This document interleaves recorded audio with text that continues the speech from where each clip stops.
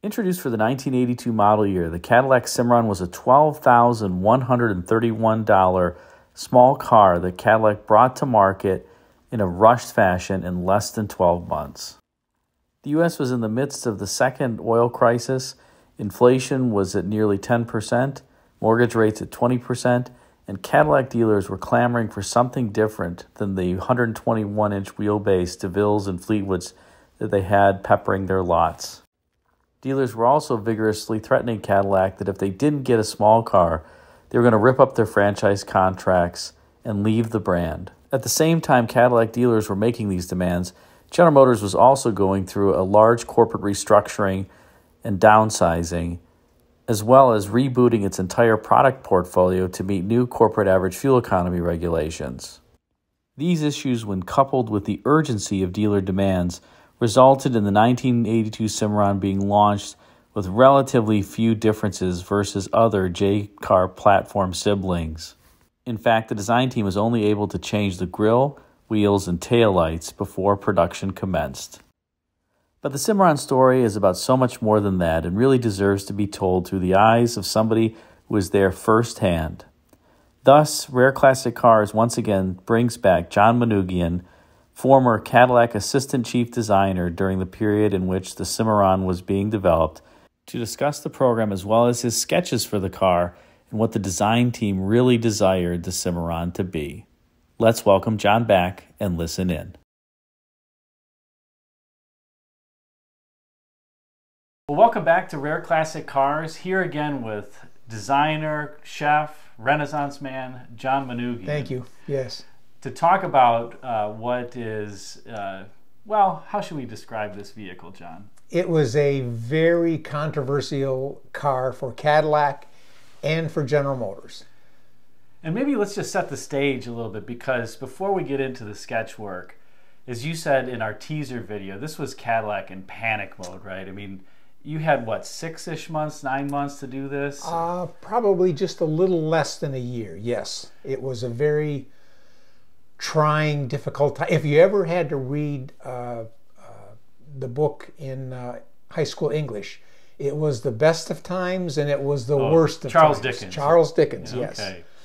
That's what we were up against. And I think what, what you know, just to set the stage for the viewers, a lot of a lot of people don't wholly understand it just being in the industry is this is a car, and as John said, Cadillac was in panic mode. Absolutely. And the dealers really wanted and were clamoring for something that was a small car, and they wanted it fast. So they were going to start fleeing the brand effectively. Right. right, and it was it was the second energy crisis. The, the first one was 73, 74. We had just gone through another energy crisis. The dealers were just adamant. They had to have a small, fuel efficient Cadillac, number one. Number two, Cadillac needed a vehicle that could uh, uh, compete with the imports. The imports were just beginning to get a toehold, and the 3 Series BMW was the end all be all. So that was the target. That was the target, and they uh, they gave you no money, and they gave you less they gave year, less time, and no money. Which means which means in the auto industry, you're not changing uh, body panels, you're not changing no, glass. Sir. You're you basically got a grill, tail lights, and wheels, and that was it. Correct. Uh, in the first early years. Yes. Now, interestingly, you know, John, what's what I think is going to be great about this episode for the viewers is you're going to see what John's John's thought process was, and then juxtapose that with what the car was that came out. So here's the production car sketch, and that's that's the grill on there. Um, we didn't we didn't even get this chrome body side molding, which is interesting because uh, what we have here basically is the grill. We didn't get the driving lights. Uh, we got the wheels, and then we got tail lights. Not these tail lights, but something very close to that. But even this, you know, it has. Uh, I don't know. The coupe is is quite an athletic looking coupe in your rendering here. European looking, yes. Yeah. Yes but just not enough time to do much more than that. No. Given given the time constraints and the financial constraints we had, this is the best we could do. And you know, I think what's interesting is there were these financial constraints, but the car uh, the Cavalier was selling for in the low six thousands base price. This was a twelve thousand dollar base price car. I mean, Let's see what we can charge. Yes. you know, John and I were just dialoguing ahead of time that you could have bought a Buick Electra for That- cheaper. That's hard to believe, but I believe it. So we're just gonna say, you know, up front, I'm gonna I'm gonna tell John that this car was a success because they ended up selling almost hundred thousand of these at a price point that was Buick Electra price point. Yes. So must have resonated with some folks. And maybe before we get into the other sketches, John also provided a wonderful um, list of potential names other than the Cimarron here. And I'll just read some because clearly somebody was on a liquor, French, Spanish Yes. theme here. Yes. One of which is North Star, by the way, which is interesting. Um, but we have everything from the Fontainebleau to the El Cid, the Cavalry, the Calvados, the Caleche, the Torero, the Dimatis, that's a good one, the Epe, or as it would have been pronounced, the EP, you know, like the EPEE, the Sanssouci, the Jacquard, the Martinique, um, Valencia, Wow. you know, Su- Saguaro, the Escadrille, and I think one of my personal favorites, the Lamplighter. So, you know, imagine pulling up to your friend's house and, oh, what's that nice car in the driveway there? That's my Lamplighter. I believe also, and I guess I'd have to go back and verify this, but the this a sales manager for Cadillac was Braz Pryor, who was a Texan, and I think the Cimarron oh. name he gravitated toward that, and so that's I believe how they made that decision. He liked those horned rams, and the, that was Yes. was that ever the logo for the car? Or No, no, thank goodness no. Okay, it was just it was just the uh, okay. A diversion. Yes. I did see Pegasus on here, which was an early version, an early name for the Fiero too. Yes, too. yes. Hence and there's winged there's some logo. some, uh, familiar names on there, like like you said, North Star, uh, that ultimately wound up being used. But some of these clearly did not. You know, the Buccaneer, the Banco, or the Bolero. So Yes. this this was your blue sky proposal. Okay, so these uh, these were done with the idea that as a next generation from the Cavalier-based car, we would get unique sheet metal and do what we thought was right. So my basic ideas were very European influenced, uh, very clean, very flush, aerodynamic. This was pre-aero era. Uh, the Taurus hadn't quite come out yet. So I was looking at ways to get a very unique Cadillac look. Uh, the wheels are cheated too big, but that's okay. Uh, that was one of my things. But uh, other than that, it, it would have made, I think, a very attractive, handsome Cimarron. I think the amazing thing about these as well, John, is this is done in the early '80s, Yes, 1982. between 1980 and 82. So think about this in the context, particularly what GM was producing at Yes. the time. Yes. And this car looks like it's, you know, would be at home 10, 15 years later almost on the road. Thank you. Yes. It's it's pretty amazing. Now, unfortunately, uh, we all know you didn't get any unique sheet metal. No. So the finance guys put the kibosh on you pretty early, right? Pretty much, yes. You did this fancy rendering uh, that uh, they said, nope, sorry. You're not gonna-" Wallpaper, yes. Wallpaper. Yes. Good job. Thank you for. Thank you very much. Thanks for Now that. go back and sit down. Yeah. um, this was, interestingly enough, an Opel-based uh, design where we would have taken the the Opel and transformed it into a Cadillac with uh, unique front end sheet metal wheels, uh, body side moldings, and taillights. Again, uh, this would have been more European, and probably Americans wouldn't have uh, recognized the fact that it was an Opel. Now, Buick had a history of using Opels, but uh, this never got beyond the sketch stage, So this was the early caddy that zigged. so to speak. Yes, the Catera was yet to be born. Wow. Yeah. Very cool. And then this was a proposal for after the first generation uh, J-Car Cimarron. This would have been if we had gotten our own hood, uh, grill, lower fascia, lower body side uh, molding, cladding, wheels. And you eventually got some of this as the car progressed. Uh, as it progressed, yes. Uh, a couple years after the initial car came out, we were able to get some of this, yes.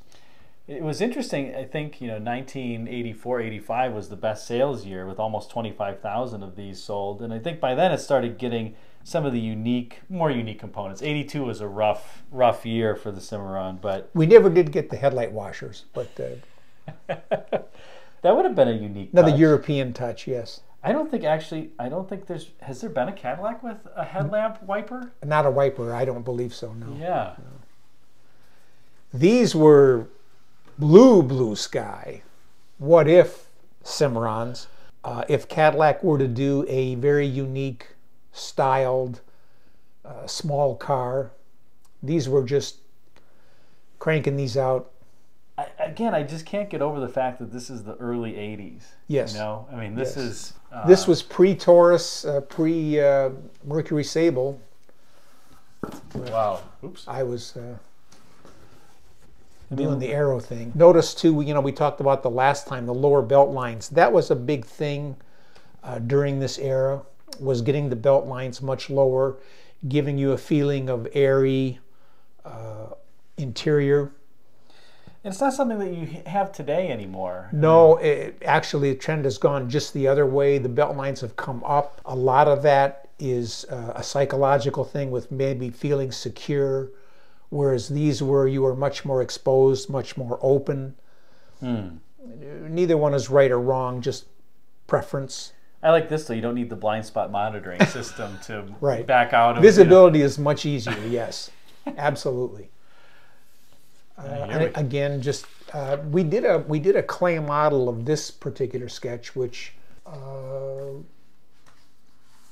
okay. we can we can this this was kind of the precursor sketch to this clay model which was full size out on the patio now again we didn't get a lot of what i had in the sketch but there was a two-tone scheme there was a unique upper unique sheet metal on the front with lower fascias it was uh, our version of what could be as a next generation Here's a great one with kind of the progression too Yes. that you have, yes and you know, again, it- like you said, you see the transition from the sketch and then to the more Right. production. And uh, just as another kind oh of yeah, a this one's my favorite. framework here is this was one of the full-size airbrush renderings that I had done, which was a precursor to doing uh, some of the full-size clays that we had done later. My goodness. Uh, What's amazing again, dated May of 1982.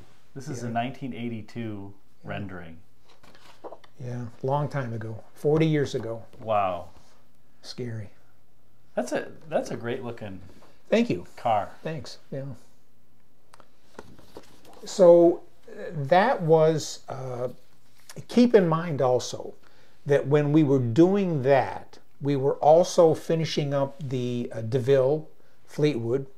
We were just beginning the Eldorado Seville for the downsized 86 cars. Ah, And as a side job, we wanted to do a proposal which would compete with the uh, Italians to do the two seat Cadillac. So we had a lot of spinning plates in the air. now here's here's a uh, unique one with the skirted rear. I I was really enamored with the Citroens and Cadillacs of old that had skirted rear wheels, and I often entertain the idea of what would a smaller car look like with skirts. I, I'm not so sure it would have worked, but it, in a sketch form, you know, paper's cheap. I've said that before. uh, why not just take a look at it? I may have done some full-size uh, tape drawings and renderings, but at the end of the day, we always kept the rear wheels open, at least on the smaller cars. Uh, maybe on a big limousine, it might be more appropriate. And you were really going away from the three box uh, style. Uh, yes, sure. yes. This, this had a much, much higher deck lid.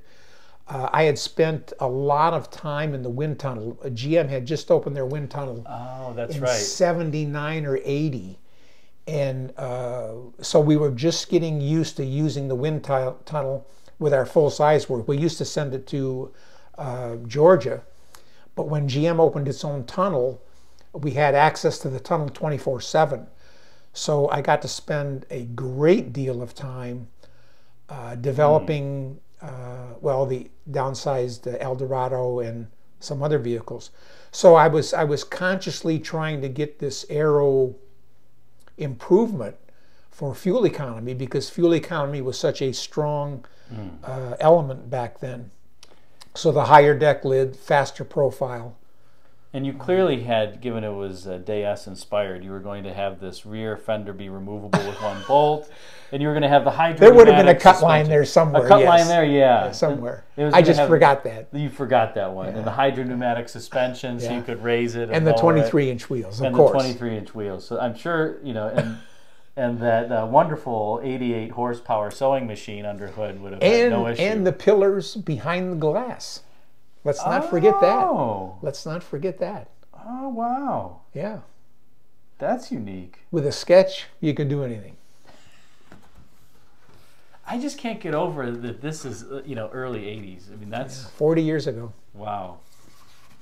Now here you're starting to get that the prow of the hood. Yeah, the, these were. Uh, the, we need to back up a little bit because these were probably done as the next generation from the original car. So this would have again required a new hood, uh, headlamps, fascias, and grill, but it would given uh, it would have given the car more of a Cadillac look that I thought was lacking in the first car, in that we could only get a grill texture. And most mm. people, including myself, thought it looked too much like a Chevrolet. Whereas this would have given us a little a stronger identity in terms of what Cadillac's faces were like. Mm. And I always liked to incorporate driving lamps back then. That was a that was a big deal with European cars, and so I thought that would be a, a nice touch uh, to give us that Euro look. And I got the wipers on the headlamps again. This was also pre uh, composite lamp era. That's right, because that was what 84, 84 Lincoln. Lincoln, the Mark Seven. There's a whole story about that. We'll tell some other time. But Lincoln uh, introduced it on their. Uh, uh, was that the Mark? I think it was the yeah, Mark. Mark Seven for, for '84. Yeah. And uh, General Motors at the time was convinced that composite lamps would never be approved, but we so know today. Were, you were foreshadowing. We I know think, today that that wasn't true. Yeah.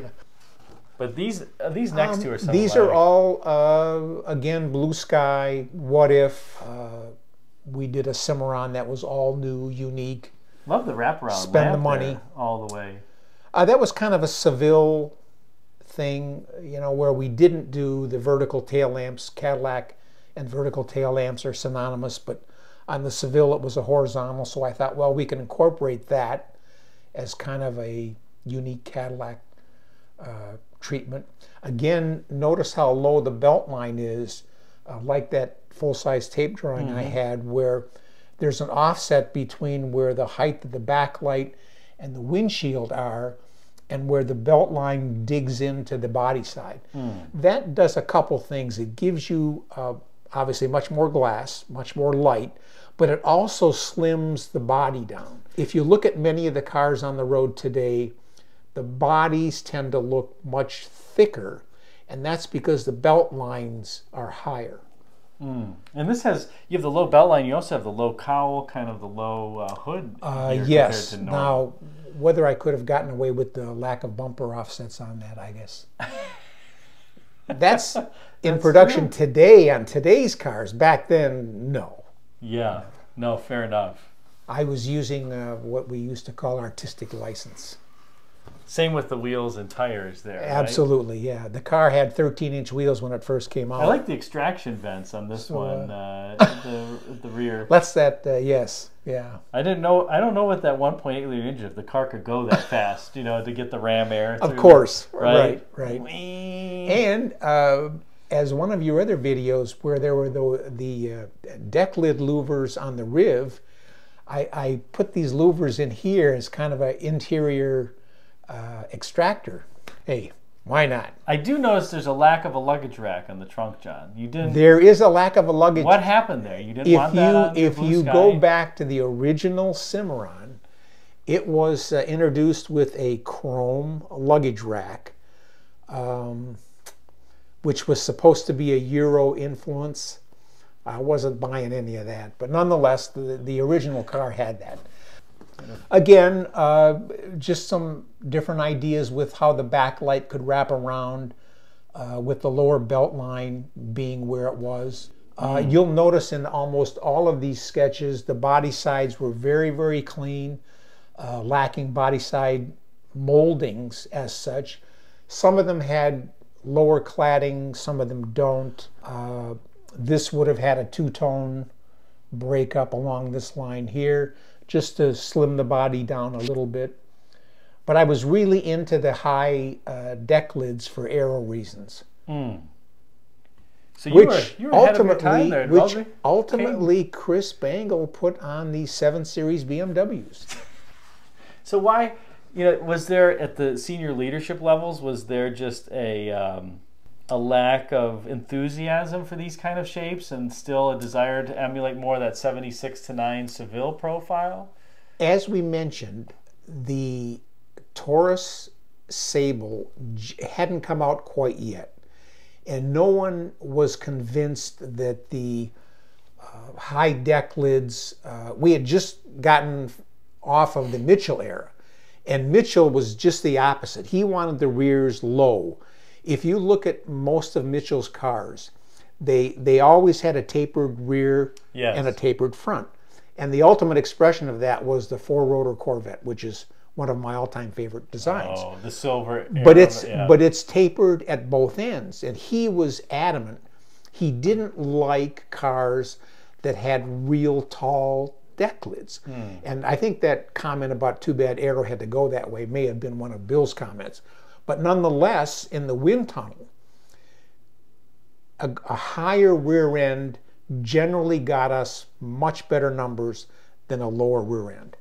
So my sketches tried to embody what you could do with a higher rear end for aero reasons, but senior management hadn't been convinced yet until the Taurus and the Sable came out. Then everything changed. Everything changed. I'm glad you mentioned that. That Aero Vet, the four rotor Vet, was a great looking car. One of my all-time five top designs. And uh, interestingly, uh, one in which the seats don't move, only the pedals do. It's a fixed seating position. Correct. And then it has Yes. those gauges that move with the wheel. Very cool. To, that that car, I was a student at Art Center when that car came out, and when I saw that car, I said, I have to be where they're doing that car. And then when Eagle picked it up on there, and then the pod, you know, the instrument cluster, you said, Yeah. "Gosh, that's a great idea, right?" Yeah. And again, this is another view of that uh, clay model that we showed. I just can't get over the the blue sky versus the Reality. reality. Yeah. So you know, And speaking of blue sky, oh, okay, as as a closing, believe it or not, kids, this was a. Uh, I did a full size, and when you do a full size, you've got to be serious about it. You don't show something full size that you're not really committed to. And I did this uh, with the idea that let's let's do something really far out, really aero, and uh, and we'll call it a Cimarron. Well, I mean, it's amazing to me, John. Like I said, looking back to these sketches, these are all pre-Taurus Sable, pre-1986, Yes. early 80s. yes. And your the vision that you had, you know, for the car, epitomized by you know, kind of something like this, and then what actually came out, you get a sense of what the constraints were really at the time too. we, we our hands were just so bound with constraints from financial manufacturing uh, and it needs to be said GM was going through a very difficult period they were downsizing every car in the lineup they were procuring Hughes and EDS uh, they were reorganizing with uh, CPC, BOC, that's Chevrolet Pontiac Canada, Buick Olds uh, Cadillac. They were announcing Saturn. There was so much going on. It was the best of times and it was the worst of times. And so that was that that was the environment that these cars were being developed in. And there just wasn't enough money uh, to go around to mm. do this kind of thing for the small cars when we still had to worry about what were we going to do with the downsized Eldorado Seville for 86. The 84 hadn't quite hit the ground quite yet. Mm.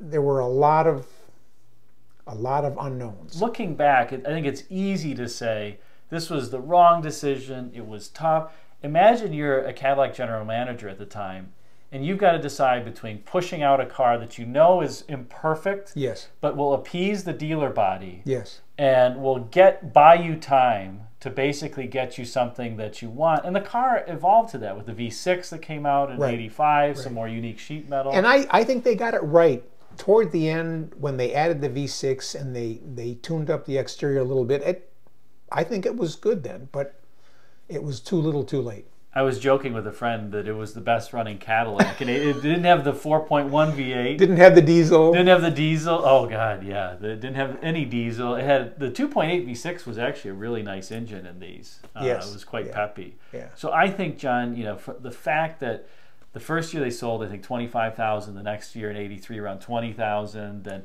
each year until 87, 8, it's selling 20, 25,000 a year. You know, one it's it's funny for me to look back at this stuff too. I I think it needs to be said that there was so much talent at GM Design, and I think uh, people lose sight of that because of the production cars that we right. were doing.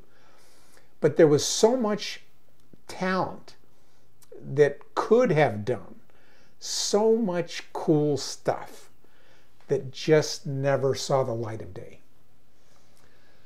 We well, should probably end on that note. I think that's a good note to end on. So hopefully the viewers enjoyed this and got a chance to see, you know, like I said, the, the sketches from John here uh, in artwork of a car that I think is probably misunderstood, obviously was flawed, but in the midst of that environment, I think it's kind of easy to say that it was the wrong decision. It appeased the, the dealer body, ended up selling 100,000 cars plus over its lifetime and, and being priced above the Buick Electra. So, which is again, it's hard for me to compute, but that now, yes. One thing I should also probably add as a caveat, which I think Mark does also.